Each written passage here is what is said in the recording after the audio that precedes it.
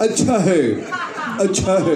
बिल्ला गया था कॉकरोच का बेल्ट खाने। साला खुद ही आलू बड़ा बन गया। अच्छा है। अच्छा है। अच्छा है। आइए एक संवाद। शुक्रिया शुक्रिया। अच्छा मुझे लगता है कई बार बच्चन साहब जो है वो टेलीविज़न पर आकर लोगों को कंफ्यूज कर देते हैं।